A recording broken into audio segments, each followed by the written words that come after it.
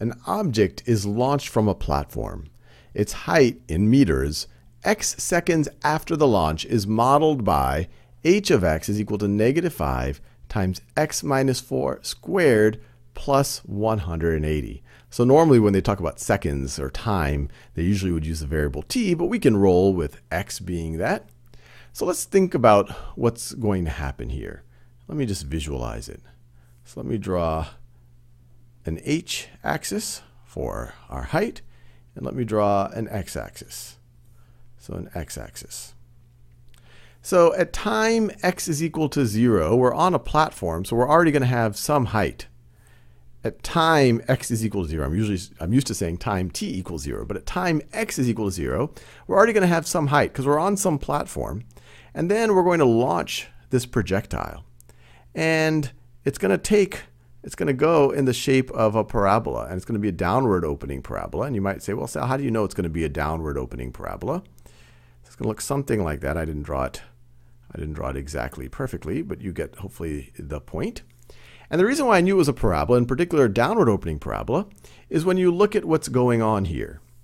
This is written in vertex form, but it's a quadratic. And in vertex form, you have an expression with x squared, and then you're multiplying by negative 5 right over here. This tells us that it's going to be downward opening.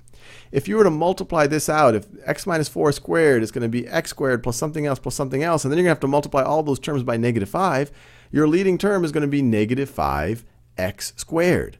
So once again, it's going to be a downward opening parabola that looks something like that.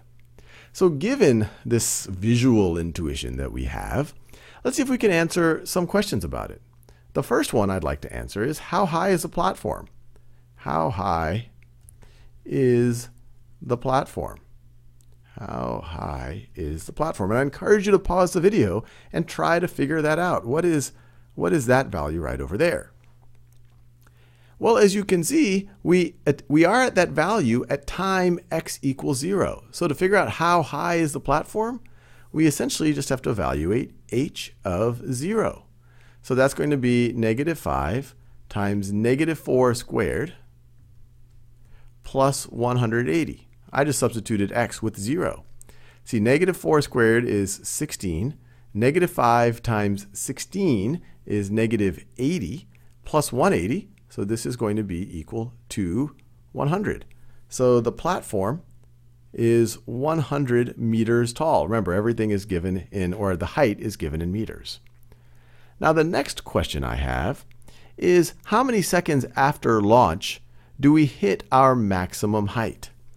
So our maximum height, if we're talking about a downward opening parabola, it's going to be our vertex, it's going to be our maximum height. And so the x value of that would tell us how long after takeoff, how long after or launch do we hit that, do we hit the maximum height? I'm trying to do this in a color you can see.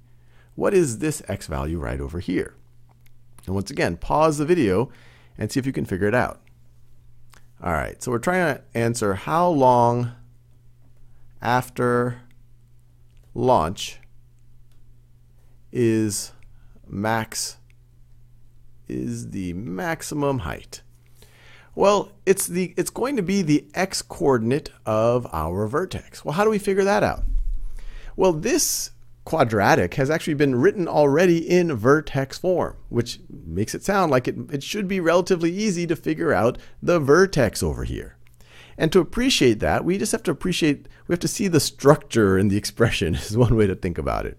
Let's think about what's going on. You have this 180, and then you have this other term right over here. Anything squared is going to be non-negative. So x minus 4 squared is always going to be non-negative. But then you always multiply that times a negative 5. So it's going to be not, this whole thing is going to be non-positive.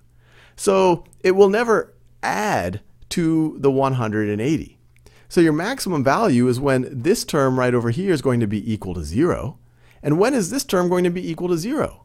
Well, in order to make this term equal to 0, then x minus 4 needs to be equal to 0. And the only way to get x minus 4 to be equal to 0 is if x is equal to 4. So just by looking at this, you say, hey, what makes this 0? Well, 4. x equals 4 will make this 0. So this is right over there. If I were to write h of 4, this is going to be, this term is going to go to 0, and you're going to be left with the 180. So there you go. This right over here. The maximum height is 180. It happens 4 seconds after launch.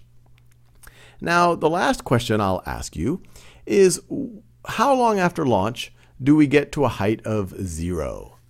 So for what x makes our height 0? Well, to do that, we have to solve h of x is equal to 0. Or we can write h of x as negative 5 times x minus 4 squared plus 180 is equal to 0.